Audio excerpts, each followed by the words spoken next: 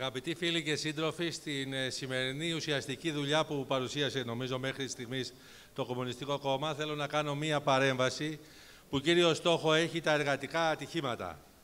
Πραγματικά στην ημερήσια διάταξη στον χώρο των Δήμων βρίσκονται τα εργατικά ατυχήματα. Κύρια βέβαια αυτά συμβαίνουν στους συναδέλφους που απασχολούνται στην αποκομιδή επεξεργασία και διάθεση των απορριμμάτων, όπου αντιμετωπίζουν συνεχώς κινδύνους, δεκάδες κινδύνους. Φυσικά, φυσικά και άλλοι τομείς της αυτοδιοίκησης, των Δήμων, όπως είναι το πράσινο ηλεκτροφωτισμό, ίδρυυση, αποχέτευση. Οι συνάδελφοι και εκεί πάλι έχουν και αυτοί να αντιμετωπίσουν αρκετούς κινδύνους.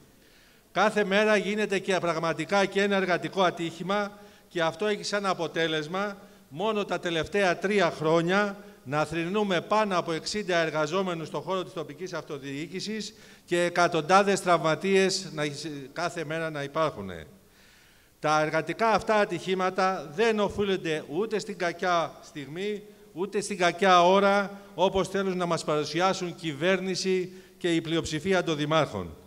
Τα εργατικά ατυχήματα είναι εργοδοτικά εγκλήματα και έχουν ενόχους την κυβέρνηση και την πλειοψηφία των δημάρχων που συνεχίζουν να αντιμετωπίζουν τη υγιεινή και ασφάλεια ως κόστος που δεν είναι διατεθειμένοι να επομιστούν.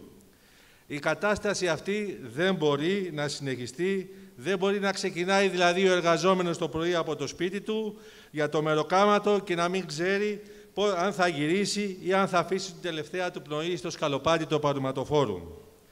Η κυβέρνηση και η σημερινή τόσο και, αλλά και οι προηγούμενες, αντί να πάρουν πραγματικά άμεσα μέτρα και δραστικά, παραπέμπονται όλα στο μέλλον, σε επιτροπές και παραεπιτροπές, δίχως να λογαριάζουν το, το πώς, αν θα ζήσει ο εργαζόμενος.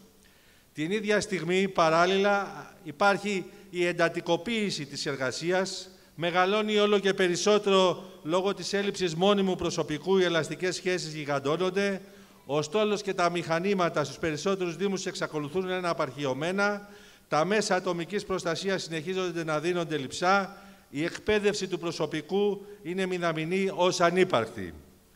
Για μας οι ουσιαστικές λύσεις μπορούν να υπάρξουν μόνο αν και τα ζητήματα αυτά αποτελέσουν πεδίο αντιπαράθεσης, πάλι και διεκδίκησης του εργατικού συνδικαλιστικού κινήματος, μέλημα των ίδιων των εργαζόμενων στους χώρους δουλειάς, κόντρα στο φόβο της απόλυσης και της ανεργίας.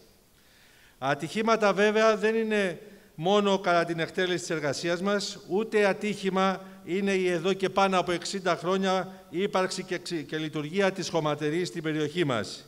Είναι συνειδητή επιλογή που καθημερινά την αντιπαλεύουμε.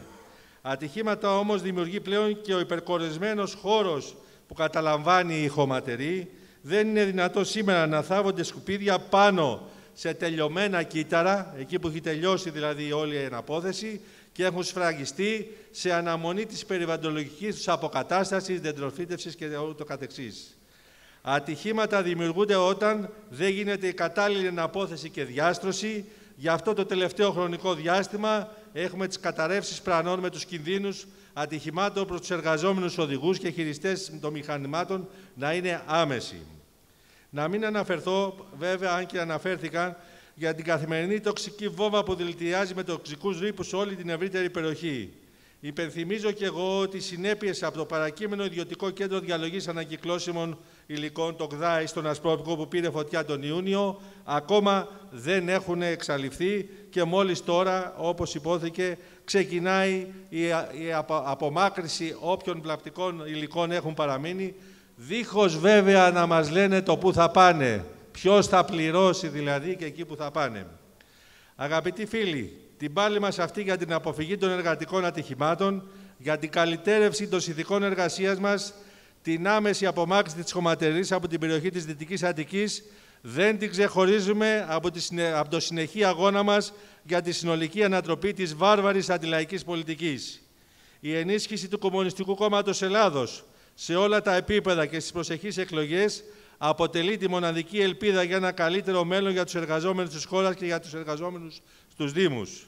Γιατί όλα τα αυτά τα χρόνια με τις προτάσεις τους, με την καθημερινή δράση του, την αγωνιστική δράση του και δράση όχι μόνο αναδεικνύει τις αιτίες για αυτή την τραγική κατάσταση, αλλά και δείχνει την τα αναγκαία μέτρα που πρέπει να πάρουμε.